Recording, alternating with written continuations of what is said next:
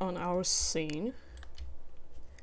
And you can pretty much see that the textures are a little bit different, but I just had to change them so they won't look a they won't look that broken as they were.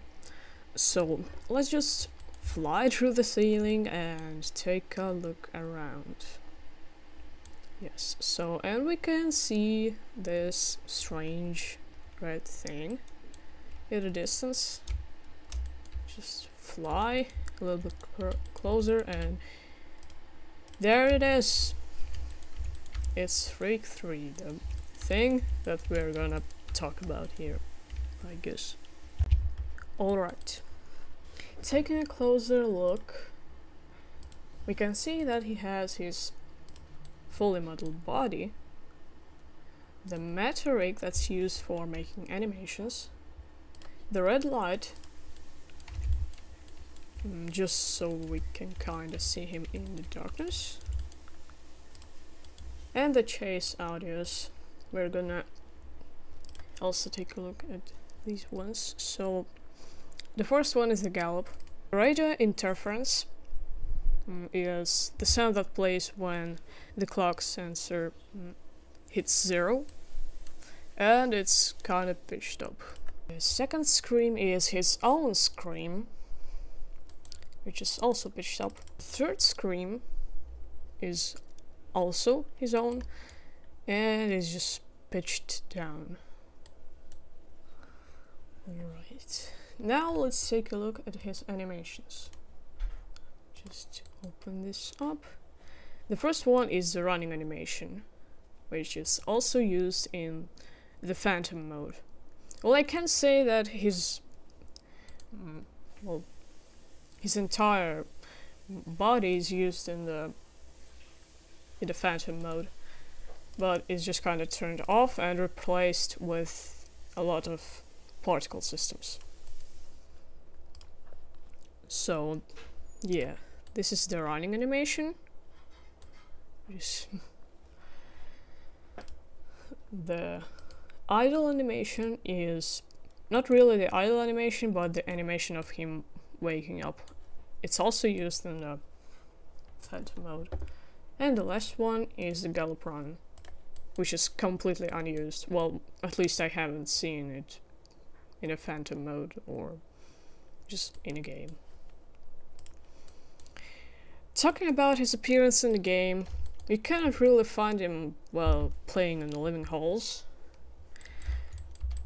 Because you, you just can't get outside of the map. And mm, he doesn't teleport to the map in any way. And I know that because I kinda cracked the code of the game to see his script.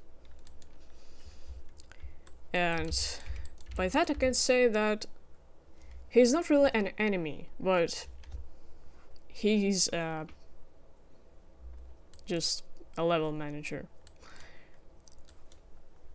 Well, it's like mm, he can he controls the um, walls in the game, uh, like just mm, well he disables them while mm, the player collects all the orbs and spawns another walls that's mm, well they're just needed to end the level yeah like this and yeah but I can't say he has the properties of a normal enemy and I actually made a quick script because the other one was well broken to to test his properties. So let's just hop into this thing. Yeah.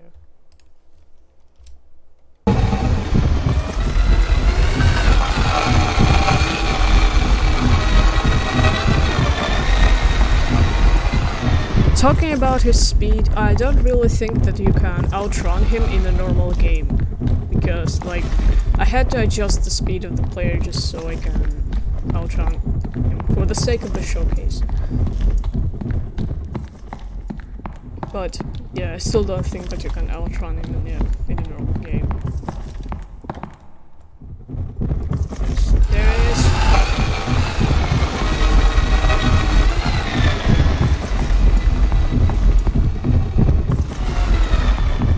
is. So, I guess that's it for now. Let me know if you enjoyed this explanation. So, thanks for watching and